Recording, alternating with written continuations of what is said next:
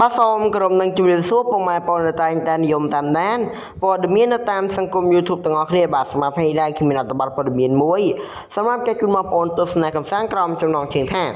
ប្រទេសតូចនេះទៅតឹងត្រឹមតែជាង1ម៉ែត្រត្រូវបានគេចាត់ចាប់បាទសំទោសត្រូវបានគេចាប់អារម្មណ៍គ្រប់គ្នាផ្អើលពេញអ៊ីនធឺណិតបាទមុននឹងបងប្អូនចូលទៅតាមដានទស្សនាសូមបងប្អូនកុំភ្លេចចុច Subscribe Like និង Share ដើម្បីទទួលបានព័ត៌មានថ្មីៗពី Channel របស់ខ្ញុំបាន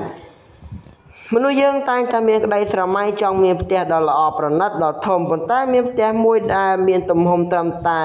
2 feet បាទដែលត្រូវបានរចនាឡើងដោយម្ចាស់របស់វាស្ត្រីនៅវៀតណាមមាន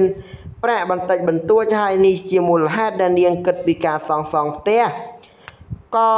ដល់តូចចង្អៀតសម្រាប់ខ្លួនឯងនាងផ្ទាល់ប៉ុណ្ណោះបាទ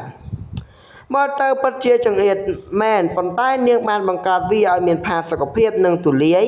ផ្ទះមានពីរជាន់ថ្មីបើមានទំហំតូចក៏ដោយក៏ផ្ទះនេះមើលទៅដូចជាអាគារតូចមួយបើបាទសន្តោសយើងមិនអាចស្រមៃថាវាមានកន្លែងទំនេរច្រើនពីខាងក្នុងទោះបីជាវាមើលទៅដូចជាតូចតែនឹងមិនស្រួលរស់នៅក៏ដោយ អ្វីដែលគួរឲ្យភ្ញាក់ផ្អើលនោះគឺថាគំនិតតែមួយគត់ក្នុងការសាងសង់ផ្ទះតូចតូចបានទទួលវិជាប្រយោជន៍ហើយមនុស្សជាច្រើនបានទទួលថាវាជាគំនិតច្នៃប្រឌិតដ៏ល្អមួយ មនុស្សមួយចំនួនក៏មិនចូលចិត្តគំនិតនេះដែរហើយបាននិយាយថាតើផ្ទះតូចនេះ អាចជាកន្លែងសុខស្រួលរបស់បាទសំទោសអាចជាកន្លែងសុខស្រួលរស់នៅយ៉ាងដូចម្ដេចប៉ុន្តែនេះមិនមែនជាបញ្ហាសម្រាប់ម្ចាស់ផ្ទះទេ ហើយនាងចូលចិត្តរស់នៅទីនោះណាស់មនុស្សចូលចិត្តវាឬអត់ប៉ុន្តែនាងបានប្រើប្រាស់អ្វីដែលនាងមានហើយនោះជារឿងល្អបំផុតបាទស្ត្រីរំនេះបានបង្ហាញភាពបាទសំដៅបានបង្ហាញរូបភាពផ្ទះរបស់នាងនៅលើកេរនី Facebook របស់នាង